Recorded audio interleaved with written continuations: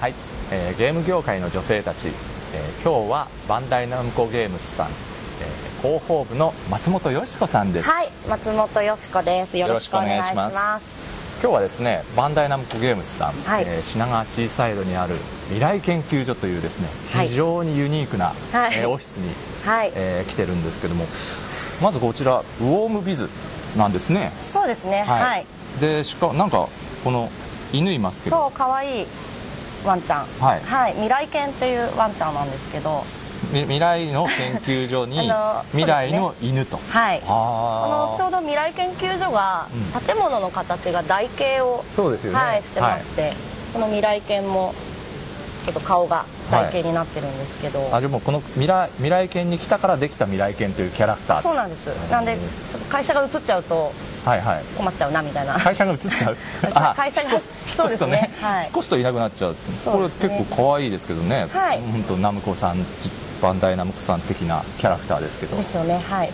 一応私プロデュースということで、お。はい。可愛がってるキャラです。キ。ャラクターデザインから。そうですね。はい。あもともとはあのええ。公式サイトのマスコットキャラなんですけど、はい。はい。まあ結構ちょこちょこ。あとなんかこんなエコバッグみたいなのもお。はい作っちゃいました。いいですね。はい。こうか。お素晴らしい。よかったらじゃあこれ相沢さんに。ありがとうございます、はい、じゃあ今日から今日から使わせていただきます、はい。ありがとうございます。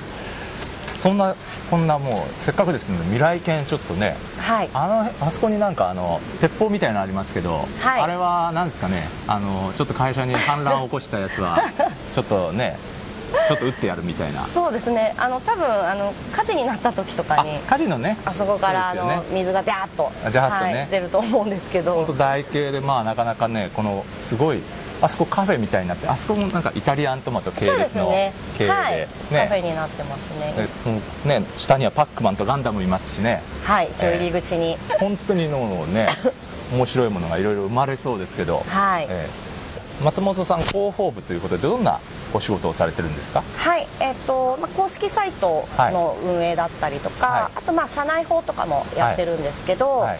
であと今ここにある、えっ、と、ビーノワーズという、はいはいはい。あのフリーペーパーがありまして、こちらの編集とかは、はい。はい。あ。ガリガリやってます。編集っていうのは実際取材したり書いたりもされるんですか？そうですね。あの私特にあえっと。まあ、バンダイナムコゲームスのいろんな製品とかを紹介したりしてるんですけど、はいはいまあ、こういった取材だとか、はいあとあの同じグループ会社のはい。ナムコが運営してるはい。アミューズメントスポットとかがいろいろあるので、はいはいはい。こういったお店とかには実際に行って取材して、はい、いろいろ書いたり写真撮ったり。実際に書いてるわけですか絶対に飽きさせませんとか、はい。ね。なんとかなのだとかそういうのを書いてるわけですね。そうですね。あの取材をもとに、はい、編集してます。なんかいざという時はエンターブレイン来てあできますね。ね。はい。ファミ通の、はい、編集にも非常に興僕も一応味があります。編集なんで書けますよ。まあそんなことは忙しい時よかったら、ははいい、ぜひ手伝いに来てください。こういったもうフリーペーパーからウェブサイトの更新から。そうですね。はい。はい、あとあのポッドキャスティングはいはい。の番組も担当してまして、お。あちょうどここにバンダイイナムコゲームスポッドキャスティングマガジン。はい。こちらの番組はいはい。を担当してます。担当してるっていうかなんか普通に出演とか普通にいるじゃないですか。そうですねはい。バンダイナムコゲームスナビゲーター松本よし子もう顔も、名前も出てますよ。はい。まあ何目立ちたがり屋なので。目立ちたがり屋。はい、はい、普通に出てますね。いやいやいやいや。すごいですね。これじゃあもうもう喋ってるわけですよね。そうですね。あの、うん。毎週配信されてるんですけど、はい。はい。アナウンサーの方とあとはいタレントの女の子と一緒に、はい。はい。いろんな楽しいゲームをはい。紹介してます。なるほど、はい、ということで今おすすめのタイトルなんてあったりししますか？はい、そうですね。あのちょうど発売されたばっかりの、とソウルイーターバトルレゾナンスはい。と、それからななんで笑う？噛みそうだなみたいな目で見るのやめてください、ね噛みません、ね、ええ。はい。難しいですよ。次は難しいです、はい。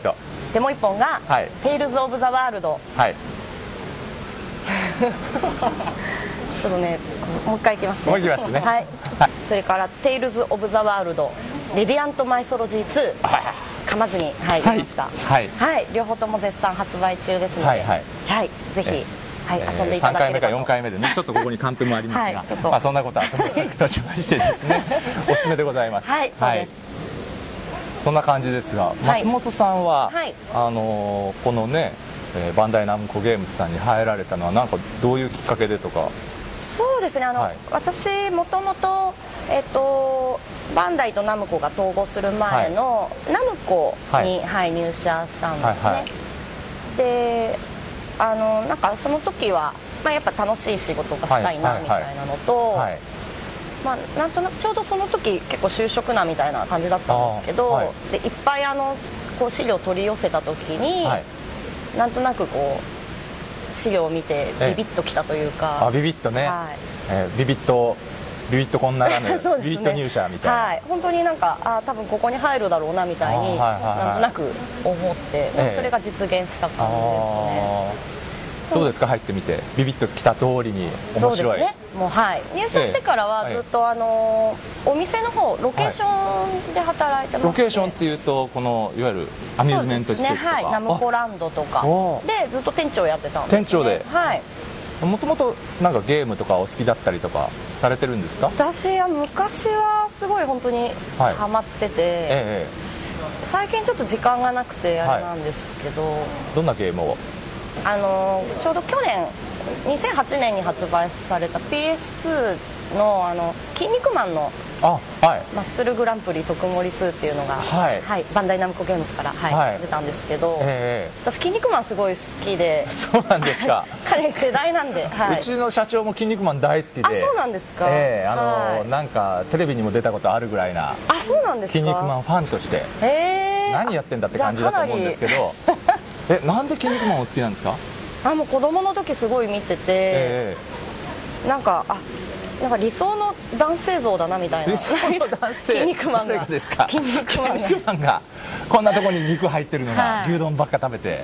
はい。私もミート君になりたいみたいな。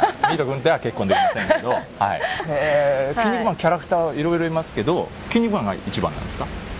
そうですね、ええ。あとまあバッファローマン。バッファローマン。バッファローマン、はい。ロビン・マスクとかそういうんじゃないんだ。ロビンマスク。あでもまああの辺もかっこいいですけど。あの辺もかっこいいですけど、はい。バッファローマン。そうですね。確かにあの、なんというかねいいとこ狙いますね。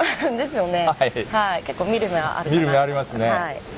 でゲームの方でもやっぱり筋肉マン。そうですね、うん。なんかやっぱこう技出したりすると、あのその思い出のシーンがこう再生されるというか、見れるようになるんですね、で私結構忘れちゃっててなんか好きではいたんですけど、なんかやっぱ細かい部分全然覚えてなくてだからそれをなんか思い出すために一生懸命こう技とか出して。我が青春の小学生時代のもう憧れの人を。そうですね。ね、はい。こんなところでみたいな。そう久しぶりに会えたねみたいな、はい、あ感じで、ーなるほど、はい、ちょっとマニアックですかね。はいはい、はい。まあ、そんな感じですが、えー次回、はい。えーご紹介いただける方、あはい。えーお願いしたいんですけども。そうですね。はい、多分今あの8階のあたりでガリゴリお仕事をされている、渡辺涼子さんという、ははいい女性を紹介したいと思います。じゃあバンダイナムコゲームズさんの、ご同僚の方で。